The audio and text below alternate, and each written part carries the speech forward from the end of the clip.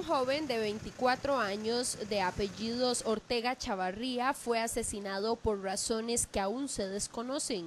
El homicidio se registró a las 4 de esta madrugada en un sector llamado Gusano Barrenador, en Paso Canoas. Según el organismo de investigación judicial, al hombre lo mataron a 100 metros de la casa donde vivía. Oficiales de la fuerza pública escucharon gran cantidad de disparos y corrieron para ver qué pasaba.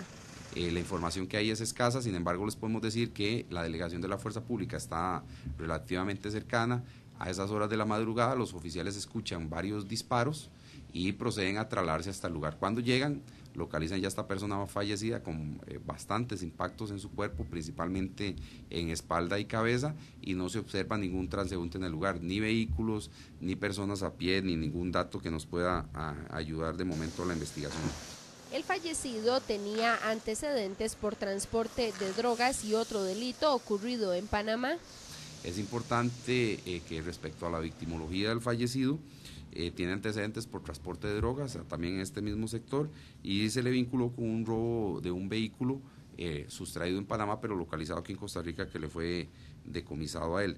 Respecto al móvil, en este momento no, no lo tenemos claro este, y estamos iniciando la, investigación eh, para tratar de establecer eh, qué pudo haber ocurrido. En la escena se localizaron más de ocho casquillos.